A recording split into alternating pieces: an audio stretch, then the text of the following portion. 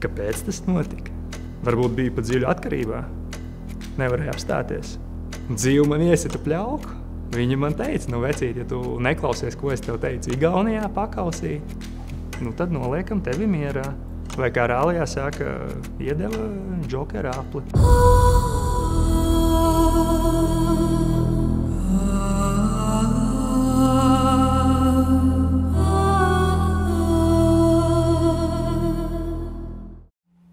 Nu, ja godīgi, es vienmēr biju centra bērns. Es augu Valdemāra ielā. Manai uh, ģimenei nebija lauku vai kaut kā tāda, kur izrauties. Un, uh, jā, es, es biju. It īpaši tagad, kad uh, medijos var lasīt par origo bērniem, negluži varbūt origo bērns, bet nu, tas, kas ietilpst tādā kategorijā, centra bērns. Bija forši Rīgā augt, man ļoti, ļoti patika, bet uh, es nezinu, tā kaut kā komplekts aiziet, sastāvdaļa. Uh, vienmēr tas viss samiksējas kopā. Mums, nu, draugu kompānijai, ļoti agri sanāca pieslēgties alkoholam. Un tas, es nezinu, man liekas, tas centrā vienkārši bija normāli. Man bija 12 gadi, Un man un uh, daudziem manā klasē, skolā, kurā es gāju, mums pat bija sasaukta tāda kā ārkārtas, es atceros, sapulce ar visiem vecākiem, ko darīt ar to alkoholismu. 12 gadu vecumā. Ja, nu, tas laikam ir tas, ko es saku, centra bērns. Un, uh, protams, ka tā tas viss veidojas. Un, un, un, Un es saku, ka 12 gadi tas bija baigi, baigi agrais vecums. Un, uh, mums pat bija sistēma. Mums bija sistēma, man deva pusdienas naudu, man, bet man pusdienas naudu deva reizes nedēļā. Man čomam pusdienas naudu deva reizes dienā. Tad, tad, kad tajā reizē nedēļā, kad man iedeva pusdienas naudu skolā, lai būtu ko ēst, tajā dienā mēs svinējām ar bonīti. Savukārt man čomam deva pusdienas naudu katru dienu, par to naudu mēs pirkām dūļus. Un iedomājieties, 12 gadīgs, nu, principā bērns, tā ir sastā klasē. Man tagad mājās pašam ir bērni. Man liekas, viņi tādi, nu, tādi mazi ķipariņi, vai ne? Viņiem vēl nav 12, bet nu, tomēr, pastoties, kas apkārt notiek, man liekas, nu, tie ir bērni. Bet mēs toreiz, nezinu, mums pašiem kaut kā likās, ka mēs esam pieauguši, bez mazliet tādi, nu, pieauguši pusauģi, tas ir normāli. Mēs šausmīgi daudz uh, tusējām, mūs neviens nu, tā īsti nepieskatīja. Skolā ar kaut kādām atzīmēm, nu, cik nu vajadzēja, tikām galā. Četrnieki jau nav grūti dabūt. Kaut kad bija arī vasaras darbi, tos, protams, arī. Bet beigās izrādījās, ka vasaras darbi ir vēl jautrāki nekā, nekā skola kopumā, jo tad ar skolotājiem varēja pasmieties, bija daudz pozitīvāka attieksme. Un, nu jā, tas bija tāds, tāds, tāds ceļš, tie, tie 12, 13 gadi bija. Nu, traks vecums. Es atceros, es toreiz, eh, man liekas, man bija jau kaut kādi 14 vai 15 gadi, uz Vēnspili pārvācos. Un izrādījās, tur nav labāk. es aizgāju uz citu skolu, jauni klases biedri vai ne, bet notiek viss tas pats. Es vēl tikai atvedu nu, to Rīgas esenci. Man tur Rīgas draugi atbrauc uz Vēnspili, vai ne? Pēc tam Vēnspils draugi atbrauc uz Rīgu. Un, uh, Nu, jā, tagad vienkārši skatoties, liekas, nenormāli, vai tu redzi kaut kādus tur, nezinu, bērnus, jā, vai, vai origo bērnus uh, ziņās, kaut ko palasīt par viņiem, tu šausmīgs ārprāts, kā tā var būt, kā tā var būt. Bet, bet es saku, mums tas viss bija, nu, tāds vienkārši bija. Tas bija, nu, es nezinu, savā ziņā normāli. Es pirms uh, apmēram diviem gadiem sajūtu vajadzību aizbraukt uz uh, Cēlā koloniju pie, pie jauniešiem, pie, kā viņi pareizi sauc, audzināšanas iestādi. Jā, kaut kā tā, man liekas. Uz koloniju aizbraukt ar tiem džekiem, parunāties. Jo man ir, nu, bija tāda sajūta, ka, tad, kad es biju nepilngadīgs, man arī vajadzēja būt kolonijā. Man vajadzēja uh, būt starp viņiem, bet, bet likums, nevis likums, uh, liktenis mani sargāja no, no likuma. Es atceros, uh, dusmu terapijā man teica, ka cietumnieki no mums parastajiem atšķiras tikai ar to, ka viņus pieķēra. Tā ir vienīgā starpība, un tas man vajag daudz līdzi aizdomāties. Un arī ar viņiem es aizbraucu parunāties, un uh, man likās, nu, ko tad es viņiem teikšu? Es vienkārši jūtu iekšēju vajadzību ar viņiem parunāt, bet es neesmu ne skolotājs, ne mentors, nekas. Es neesmu nekāds tur gudrais vai, vai augstāk stāvošs, kurš tur baigi saprot lietas, bet gribēju ar viņiem parunāt kā ar džekiem. Nu, viņi vēl ir nepilngadīgi, es tomēr esmu nu, gadus vecāks, varbūt kaut kādu, nu, tur es nezinu, kaut ko aizķerties, es varu iedot. Un es arī ar viņiem aizbraucu parunāt par to, vērtību, jo kaut kādos pētījumos bija atzīts, ka jauniešiem, it īpaši sadragātiem jauniešiem, ir vislielākā problēma ar uzticēšanos cilvēkiem, ar uzticēšanos attiecībām, nu, kā viņas veidot, kāpēc paļauties. Bet es saku, es savā dzīvē iemācījos, ka nav jāuzticas nevienam, ir jāuzticas tikai vērtībai. Nu, teiksim, ja skatās uz attiecībām starp darba devēju un darba ņēmēju, ir jāuzticas vērtībai. Tev ir jāuzticas, ka tas darbinieks dos pienesumu biznesam, vai otrādi tev ir jāuzticas, ka tas darba devējs dos to vērtību, teiksim, kas ir izaugsmas iespējas un alga. Un tas pats attiecas uz karjeru. es nekautrējos par to runāt. Es šobrīd trešo reizi studēju juristos. Trešo reizi. Uh, varbūt šoreiz sanāks, es nezinu. Uh, bet, teiksim, ja es nākotnē gribu kļūt par praktizējošu advokātu, reku piemērs vai ne, vai otrādāk, tad uh, rekur ir tas nu, ad, praktizējošais advokāts, rekur esmu es. Man ir jāizlīdzina svara kausi. Ja? Bet, uh, Tā tad man ir jārada vērtība. Tās lietas nenotiek pašas sev. Man ir jāmācās, pēc tam man ir jāpraktizējas, man ir jāmācās, jāmācās, jāmācās, jāmācās, jāmācās, jāmācās. jāmācās. Bum! Līdz, es, līdz mana vērtība atbildīs tam mērķim, nu, tādā ziņā. Un, un tas ir tas moments, kas, nu, par ko es vienmēr domāju, vai, vai ko es darītu. Kāda ir tā nu, vērtība, vai kas ir jādara tās vērtības uh, apmaiņai. Bet neliela atkāpe, ņemot vērā, ka daudz laika tiks pavadīts uz ielām, tas angliski bija tāds teiciens, pre, precīzi netulkojas, bet nu, laiks uz ielām rīt ātrāk. Tu ātrāk iemācies, tu ātrāk nonāc tādā briedumā, tavām izvēlēm ir sekas. Nu, tu neesi tādā mūcā, tu, tu esi nu, tādā īstā vidē visu laiku. Un, un es ļoti agri sāku strādāt. Man liekas, man gados 14 bija pirmais darbs pavasara tāds oficiāls, kur braucu un tāpat tusēju. Vienkārši nu, braucu, bet arī vajadzēja pelnīt naudu. Kāpēc vajadzēja pelnīt naudu? Lai varētu tusēt tālāk. Tā tāda loģiska likuma sakarība bija. Un, uh, un tā tā dzīve veidojās līdz man bija 18 gadi. Es atceros, vasarā bija periods, kad es pat dienu strādāju strojkā. Un pēc strojkas es aizskrēju mājās, ieiet dušā un braucu uz naktsmāņu bārā. Jā, un bārā es gan strādāju, gan nu, bāra dzīve loģiski arī tusiņš notiek. Tad visi, visi čomi brauc arī pie manis tusēt. Un tas jau bija 18 gados. Es, es uh, dzīvoju atsevišķi. Un, uh, un, un, jā. un tad, kad, tas bija pavasarī, es jau skolā mācījos, vidusskolā. Un tad, kad sākās skola, tad bija periods, kad es pa dienu mācījos. Un pēc, uh, pēc stundām braucu uz bāru, uz naktsmājiņu. Un pēc naktsmaiņas es aizskrēju mājās, varbūt stunda, divas uh, miega. Citreiz pat bija tā, ka es tikai iegāju dušā un uh, jau ar mašīnu braucu, parkojos pie skolas. Un pie skolas uh, es uzrakstīju īsiņu klases biedram, lai viņš vienkārši pamodina, tad, kad nāks uz stundām. Es gulēju mašīnā. Un tad es no mašīnas, viņš man pamodināja, gāja iekšā uz stundām. Stundā pirmās divas, trīs stundas varēja vēl pagulēt no rīta. Jā, it kā esot stundās, nu jā, kaut kā tā es dzīvoju. Un, uh, un tad gan notika kaut kas tāds interesants. Uh, baigi detaļās es tur nevēlos iet iekšā, bet uh, daudz ir redzējuši seriālu Peaky Blinders, vai ne? Un, un tur bija uh, citāts, ka pēc, pēc man liekas, ka tur bija tā, ka pēc sastapšanās ar nāvi viss pārējais ir bonus. Nu, tev tā, tas viss beidzās. Tagad tu esi nu, tādā papildu laikā, tu esi bonusiņā. Un, uh, man par to patīk domāt kā par sazemējumu. Iztēlojies, ir, ir bērnu ballīte, daudz bērnu. Viņi draudzējas vai nespēlēs, spēlēs, un tu jūti ik pa tādām desmit minūtēm aug tas, tā spriedze aug. Spēlēs, spēlēs, spēlēs, spēlēs, spēlēs, spēlēs. Un tu vienkārši zini, un tu, tu jau kā tu jūti, tūlīt, un bum, kaut kas notika un rauda. Jā, notiks sazemējums tajā vidē. Un uh, pieaugušiem, man liekas, tas notiek tieši tāpatās. Man tajos 18 gados, uh, redzot, uz ko tā dzīve iet, nu, precīzāk šādi, uh, arī man, man liekas, ka notika šis sazemējums, pēc kura nu, es dabūju ilgi un dikti padomāt.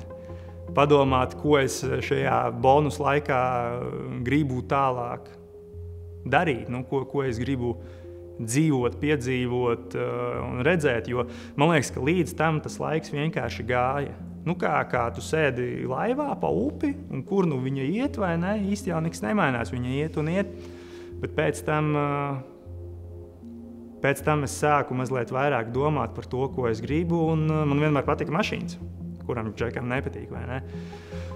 Un es nolēmu, ka tai visai bāra lietai un, un, un strojkām un tam viss ir eh, jāliek miers. Tagad es nonācu vietā, kur eh, būvēja sporta mašīnas. Aizgāju papraktizēties, un es gāju uz skolu, mācījos, pēc stundām braucu būvēt sporta mašīnas, skrūvēt. Jo tad, kad arī tajā brīdī, man liekas, arī drifts tikai lēnu garu palika populārs, nu, tur varēja redzēt, tur jau mašīnas parādās vēl kaut kas. Un es no bērnības atceros, ka mēs ar brāli uz, uz, uz vectētiņa datoru spēlējām Kolina Makrēra rallija, un viņš man vienmēr vinnēja, jo viņš lieliski gāzēja un bremzēja, bet es nekad nevarēju bremzes nospiest. Man viss man vajadzēja tikai gāzi, tikai plakaniski, un jo trakāk tā mašīna ieiet līkumā, jo, jo lielāku adrenalīnu un kaifu es no tā izgūstu. Nu, Un, un, jā, es aizgāju būvēt tās sporta mašīnas, un, zināmā mērā, citreiz dzīve ieliek pareizajā vietā, pareizajā laikā. Un Es tiem mehāniķiem, pie kuriem es biju, es viņiem prasīju, Džeki, klau, nu tā godīgi, kas ir jādara dzīvē, lai varētu braukt ar tādām mašīnām. Un viņi man atbildēja, ka neprasa mums, mēs jau ar viņiem nebraucam. Ja, tās bija klientu mašīnas. Viņi tikai viņas apkalpoja. Viņi man ļoti godīgi pastāstīja, nu, kā, kā mehāniķi viņi nekad nebrauks augstākā amatieru klasē, tāpēc ka finansiāli to nav iespējams atļauties. Nu, līdz ar to es sāku runāt ar tiem klientiem, kuriem bija tās mašīnas. Es sāku apskatīties, nu, kas ir tie cilvēki un ko viņi dara. Un, uh, kāpēc viņi var braukt ar tām mašīnām, ne, un citi nevar.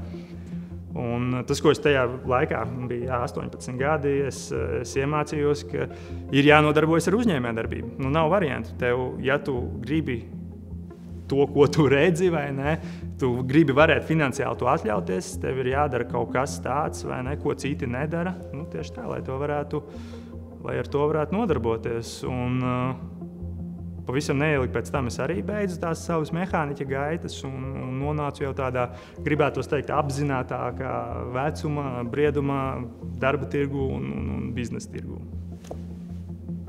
Tad, kad es šo visu sāku apzināties, uh, kaut kāda nauda dzīvē sāka parādīties, es nopirku pirmo drifta mašīnu. Un, uh, un sāku savas gaitas autosportā. Es aizbraucu uz uh, pirmo treniņu. Es uzreiz jūtu, ka priekš tā, cik tas maksā, man vajag būt maksimāli efektīvam, maksimāli ātri. Līdz ar to es uh, sazinājos ar vienu džeku, kuram es tos gadus atpakaļ skrūvēju mašīnu. Un es viņam teicu, klausies, nu, pamāci man sākumā. Un mēs satikāmies, parunājām, un es sapratu, cik viņš ir fundamentāli gudrs cilvēks. Un beigās mums tās attiecības izveidojas tādas, ka viņš man mācīja driftot. Bet viņš man mācīja arī visu kaut kādas citas uh, dzīves, nu, atziņas, pieredzes, uh, gudrības, visādās dzīves jomās, arī, arī biznesā. Un, uh, un viņš prasīja man, uh, Reini, kādas ir tavas attiecības ar alkoholu. Un es īstenībā tā, ja godīgi, es saku, man bija kaut kādā brīdī 22 gadi apmēram. Un rēķina es jau desmit gadus biju nodzēris. Nu, saucam lietas īstajos vārdos.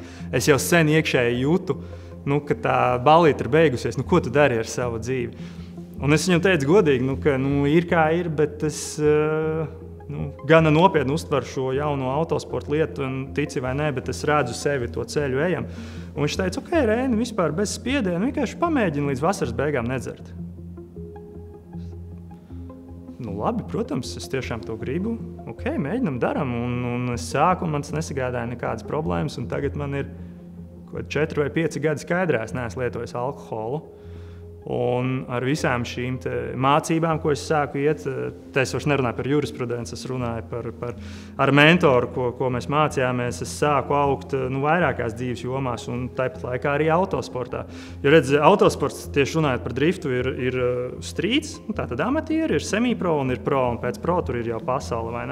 Es nobraucu vienu gadu strīdu, nākamajā gadā semipro, nākamajā gadā uzreiz pro, un tad ceturtajā gadā es jau dabūju uzstartēt Eiropas čempionāta posmā.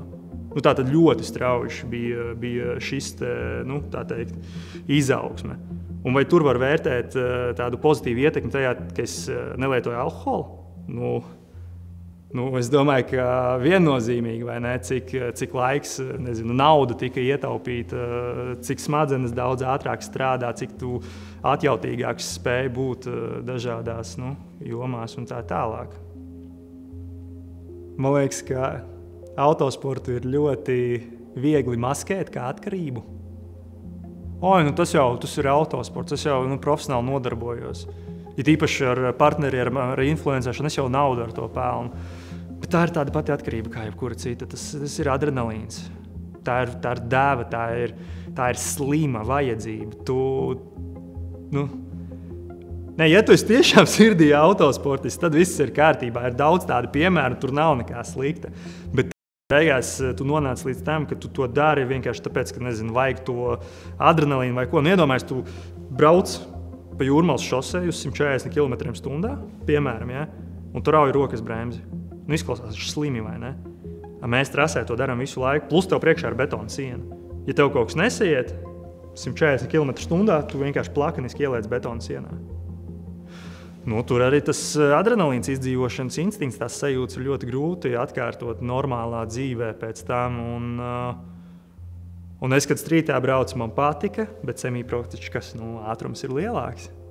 Saķeri ir vairāk, riepas ir uh, nu, niknākas, tehnika ir krūtāka. Nu, ok, pabrauc semīpro. Nu, bet pro taču ir vēl ātrāk. Uf, tur tādi ātrumi. Nu, nu, tad ir jāiet uz pro, vai ne? Ir jāturpina sevi izaicināt, ir jāturpina sevi bakstīt, mest ārā no komforta zonas. Ir jāiet, nu, pilnu banku ejam. ejam. Pabrauc to pro, nāk kaut kādi Eiropas lietas, piesakies. Domā, nu, kāpēc nepieteikties? Tad, kad atbrauc Eiropas džeki uz Latviju, viņi atbrauc ar vēl krūtākām riepām, ar vēl krūtāku tehniku. Tur ir vēl augstāks līmenis, vēl vairāk adrenalīna. Vai ne?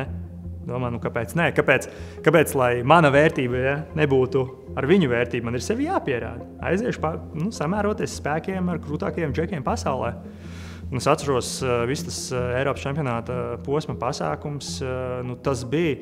Man liekas, nu, grib, savā ziņā gribētu teikt, tāds necilvēcīgs nu, adrenalīns. Jo tu dari, tu esi profesionāls sportists, tur visa publicitāte, viss, viss notiek. Bet pēc tā weekenda no vienas puses tu esi uzlādēts, ja, tu, tu gribi vēl, tu, tu, tev ir tā garša dzīvot. Bet tāpat laikā es godīgi to tulkoju tieši tāpat kā problēmu ar alkoholu. Nu, tu, tu nevari apstāties. Kur, kur ir robeža? It īpaši es sāku braukt driftā, es biju tikko precējies. Jā, tagad man ir uh, divi mazi bērni, kurus es ļoti mīlu. Es mīlu savus bērnus, es mīlu savu sievu un savu ģimeni kopumā. Uh, bet tu kā apstāties arī nevari. Un šogad man bija piektais gads driftā. Mēs rīktīgi pārbūvējām mašīnu, sagatavojāmies, nu, plēsīsim vaļā, ejam. Alīna beidzot visas influencēšanas lietas notiekās, vai ne? Sadarbības piedāvājumi nāk. Un uh, sezona sākās. Pirmais posms bija Igaunijā. Es aizbraucu uz Igauniju. Un es vienu reizi iebraucu trasē, un otro reizi braucot trasē, es pakausīju, dzirdu to, to balsi nu, Reini, ko tu dari? Ir astoņi no rīta, ārā spīd saule, tā balīte ir sen beigusies. Jā, tu vēl no sērijas esi šmigā. Nu, analoģisks piemērs. Tā balīte ir sen beigusies, tev tur vairs nav jābūt. Ko tu dari? Un pēc tam Igaunijas posma es uzreiz visiem savējiem, nu, ar ko, ko biju saistīts drifta vidē, paziņoju, ka that's it, I'm done. Es dzirdēju to balsi, es dzirdēju to brīdinājumu. Man, man to točna vairs nevajag. Viss. Un, bet nu, mēs pārunājām savā starpā, vai ne? Jo profesionālā autosportā tu jau neesi viens. Tev ir sadarbības līgumi, tev ir tik daudz iesaistītās personas. Tu esi tikai braucējs, tā kā aktieris. Tev tur ir tik daudz milzīgu cilvēku apkārt, bet pie kameras tu esi viens. Stūrē pie stūra viens, vai mašīnā pie stūra es esmu viens.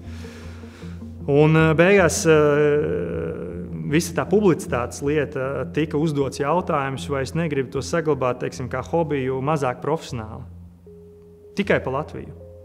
Un es padomāju, ka mm, ok, varam pamēģināt. Es vairs nebraukšu tik profesionāli, tik nenormāli asi. Es vairāk zinu, kā ierodos trasē, pafučējos, pafilmējos, pareklamēju partnerus. Nu, tas ir visiem nu, bezmazliet tā tāds darbs, patīkams hobijs. Uh, Jā, un ar visiem partneriem mēs izrunājam, ka nu, mainām līguma nosacījumus. Es nobraukšu kaut kādus 3, 4 posmus Latvijā, un šī sezona nu, es, es palieku par, par reklāmu, nevis par profesionālu autosportistu. Visi piekrita. Es pats biju mazliet pārsteigts, ja godīgi, bet nu, fanu bāze gana liela, saturu taisu gana godīgi un atklāti. Līdz ar to man liekas, ir izdevies uzbūvēt un noturēt visu auditoriju. Galu galā šogad izcēla apbalvojumu gada gada influenceris sporta kategorijā. Jā. Un, uh, un tas viss noved pie tā, ka ir otrais posms, otrais. Un es aizbraucu uz trasi, tāds priecīgs, zinu, kā, hei, pafilmējos kamerā. Nu, viss kā stāstīts, viss pēc nosacījumiem, noreklamēju visus partnerus. Nu, tā labi jūtos, ka tas ir hobijs, apmaksāts hobijs savā ziņā bet tā balss kaut kā iekšā bija. Es atceros, es, no Igaunijas braucot, es mehāniķim teicu, vecīt, man liekas, ir tā, es dzirdu to balsi. Bet, ja es viņu neklausīšos, man dzīve nu, ievilks pļauku, un es negribu to sagaidīt. Un viņš teica, Reinis, viss saprot, viss kārtībā. Nu, lūk, un es aizbraucu uz šo otro posmu, viss notiek, viss foršs, es iebraucu trasē, un, un es jūtos mazliet mierīgāk. Nu, tāpēc, ka es tā mierīgi, nē, nē, nu, es neesmu pat bezmazliet sacensties ieradies. Es esmu, nu, Bet, uh, nonākot līdz tandēmiem, tas man liekas, bija jā, top 16 vai top 32 vinē, un tad top 16 bija tā avārija. Nav man precīzi dati, bet nu, kaut kādā 80 km/h betona sienā man ielika pretinieks. Un, uh,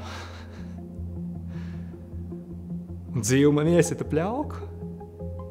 Viņa man teica, nu, vecīt, ja tu neklausies, ko es tev teicu, Igaunijā pakausī, nu, tad noliekam tevi mierā.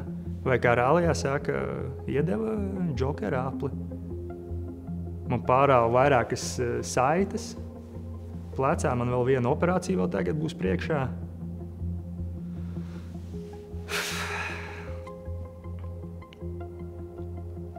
Kāpēc tas notika?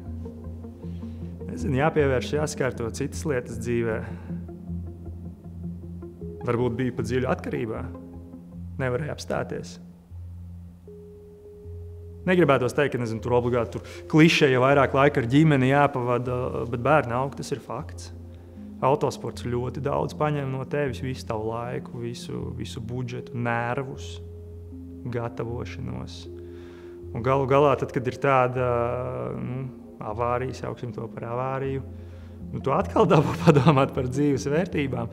Cik tālu no 18 gadu vecuma līdz man tagad ir 27, gandrīz 10 gadi ir pagājuši. Šis laiks ir bijis vienkārši anormāli produktīvs. Jā. Uh, nu, bet, bet vai es visu laiku esmu devies nu, pareizā virzienā, vai arī es tomēr esmu ļāvies, ka atkal notikumi ņem priekšroku, nevis ka es vādu savu dzīvi. Uh, Jo nu, tas baigā tāda ala, kurā tu grīms, nu kā nu, tu nebrauks. Viņš nevar tagad sliktāk uzbraukt. Ne? Tas ir tās iekšējās nezinu, problēmas, programmas, kas skan strādā. Un, un,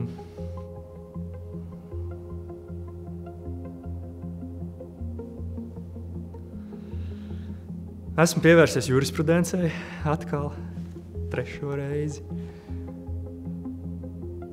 Es nezinu, ko tālāk, ja godīgi. Es publiski izziņoju, ka es ņēmu pauzi no autosporta uz šo gadu un uz nākamo gadu. Visi partneri grib mani atpakaļ trasē. No vienas puses, es domāju, ka publicitāte nu, ir gana liela, ne, lai būtu šī interese.